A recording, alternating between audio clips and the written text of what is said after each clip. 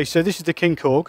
This is our brand new analog modeling synth, and it's very much part of our synth range. So it's a little bit different from the Kronos and the Chrome in that it's not a workstation. It's just all about the sound design, sound creation, and the quality of those synth sounds. And also the ease of programmability because you've got hands-on controls for most of your actual synth controls.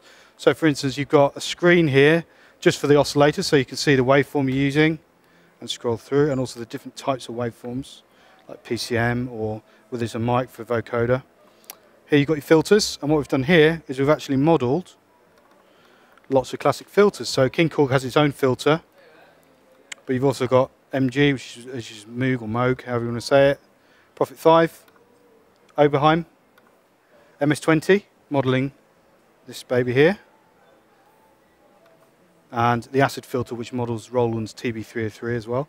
And then we have high pass versions of those and also band pass versions of them all as well. So you have an incredible palette just of filters as well. Over this side, we've got our effects. So this is a little bit like our SV1, which is our stage piano over on the plinth over there. And this is like, kind of like a guitar amp where you just press your effect to turn it on and off, select your effect, and then set the parameters underneath. So you have three blocks.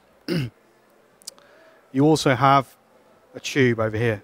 So this is a full analog tube, which we can drive to different levels, and we can also boost it as well, and of course turn it on and off. And we have a mic level for the mic. If you plug one in, you can use it as a vocoder as well. So let's have a listen to a few of the different filters first of all. King Korg's own filter.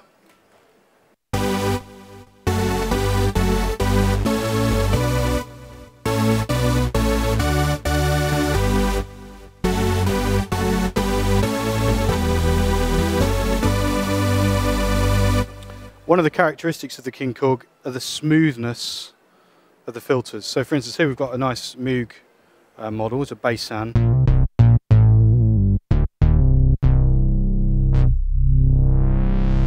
As I sweep through the filter, slowly you'll hear it's just really ultra smooth.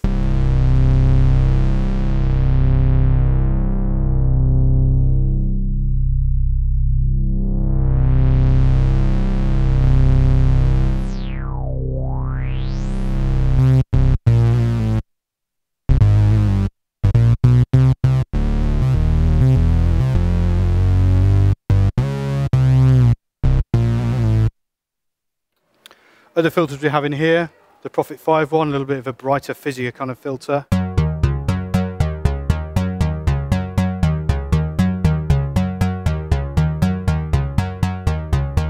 going to sing it? No, not today. um, and the Oberheim, of course, massive synth in the 80s, the OBX um, synth, uh, massive sound.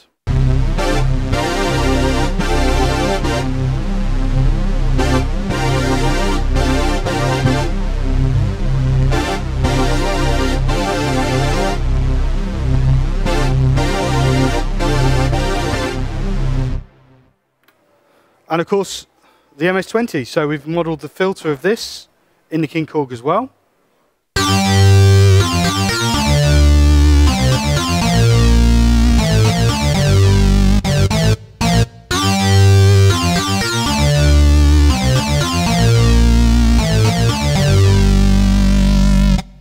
And not forgetting the um, acid filter as well for this um, classic kind of 90s acid house sounds.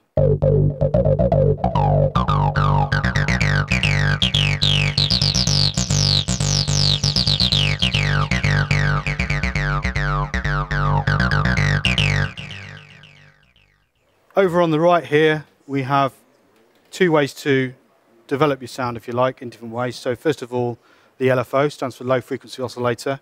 So we can add some motion to this quite static pad, for example.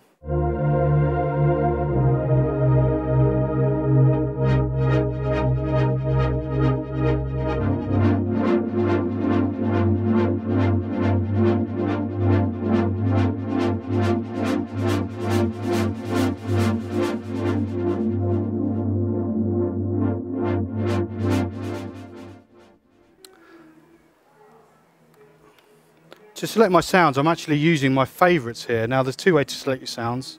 You you can either just press program and then these become categories. So for instance, if I wanted a bass, I can just go into bass and then use the wheel there to select all my different basses. But if you press favorites, these then become your favorites. And you have five banks of these, A, B, C, D, and E. So I've gone into my second bank favorites now. And I'm going to show you some of these effects. So for instance, your reverbs and delays are really nice.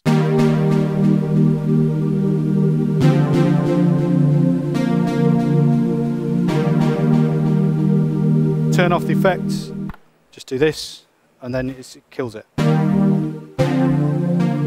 really handy for recording, or if you just want to do a quick comparison of how it sounds with and without the effects, you can do that.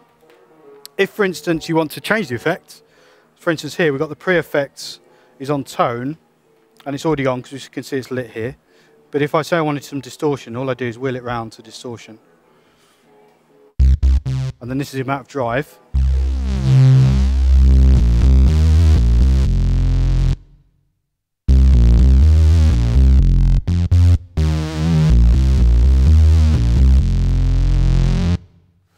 And of course we've got the valve as well. Now the valve for this whole demo so far, so far has been on, but it's been in quite a low level, so it's just warming the sound up nicely.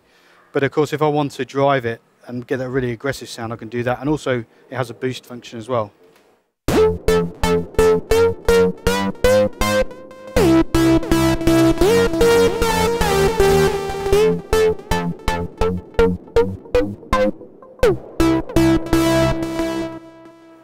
That really gritty, grainy sound from the, from the valve there.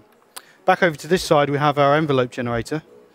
So this has two destinations, filter or amp. At the moment it's set to filter, which means I can adjust the attack, decay, sustain and release, ADSR, of the filter independently from the amp, which means I can get the sound to develop over time and get the filter to open differently to how the sound's sounding. So for instance here, we've got the filter opening quite quickly after I play the note.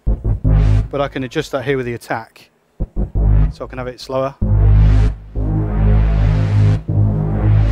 Immediate. Somewhere in between.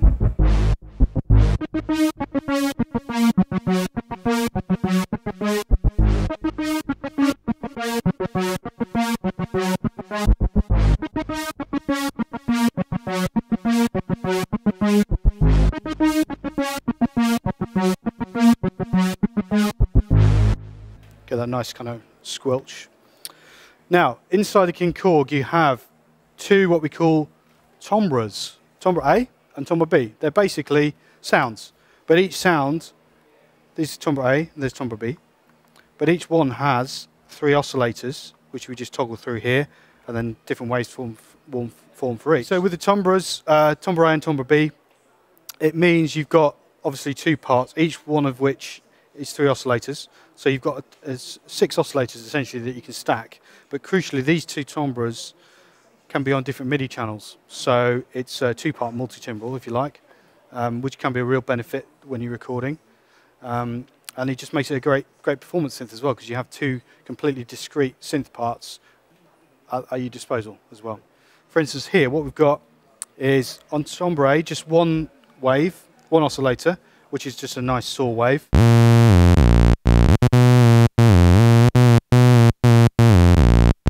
By pushing this forward, the joystick, I can bring in timbre B as well.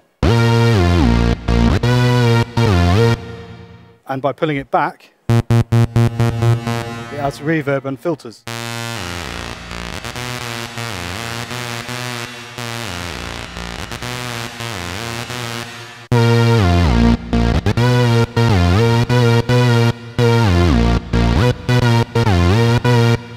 Nice about this is it is completely programmable. A lot of the presets will have uh, things already assigned to it, but you can easily go into the menu and change change the um, destination of this very easily. So another way to use these different timbres is to maybe split the keyboard in half. So you can press split there, and that instead of stacking them on top of each other, it'll split the keyboard at the split point that you desire. So here we've got a pad, and then we've got a lead the top.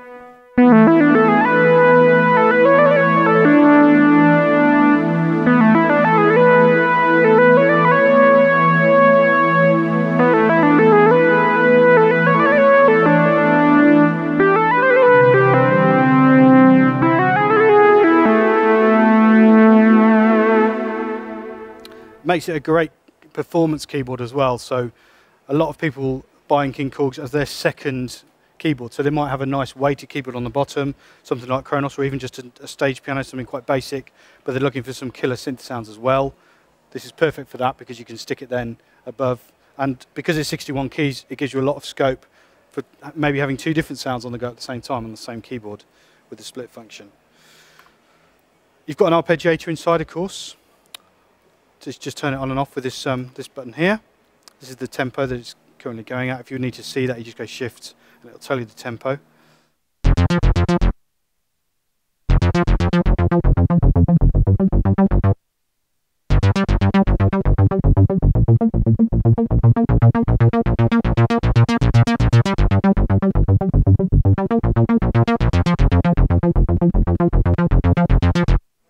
You can use your arpeggiator in different ways. So for instance, if you've got a split keyboard like we did before, you can apply the arpeggiator to one part, the other part, or both parts.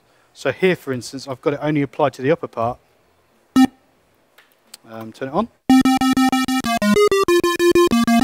But it's not applied to the lower part, so I can play that with my left hand.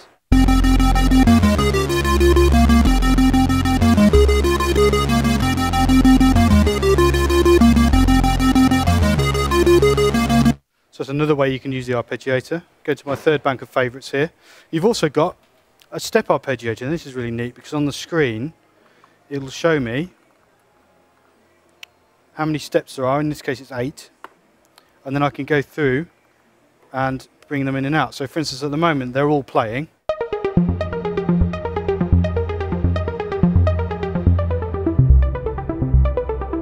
But I can go in and say, okay, I'm going to take out step three and I'm going to take out step five. So you now will get kind of a syncopated deal.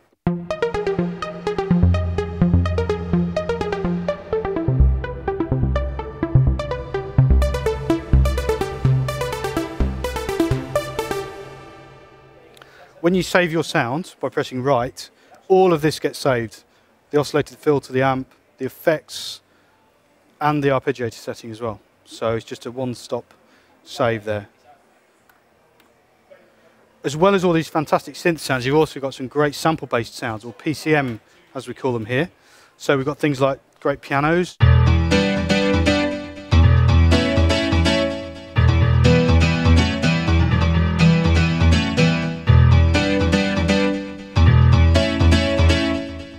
Stuff like organs as well, classic M1.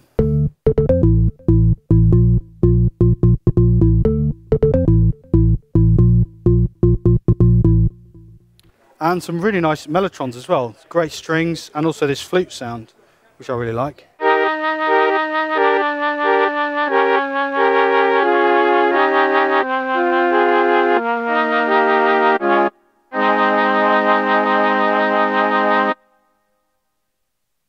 So, that's the King Korg. Uh, amazing sounding synth, very versatile with all the different filter models, loads of waveforms. Um, your three insert effects, so you can really sculpt your sound exactly as you need, and of course, your valve as well. So connection-wise, the King Korg's actually quite unique because we've got your USB for connecting to a computer, your customary MIDI, but you've also got CV and gate, which means you can connect to any uh, analog piece of equipment as well, whether it's got MIDI or not. So that was the old school way of connecting um, instruments together. So as well as those, you've got your damper, which I'm using the sustain pedal here. You've got a switch pedal, as well as your, your regular audio outputs, left and right. And of course, your mic input as well. So if you want to use it as a mic, uh, vocoder, like the little microKorgs, you can do that as well.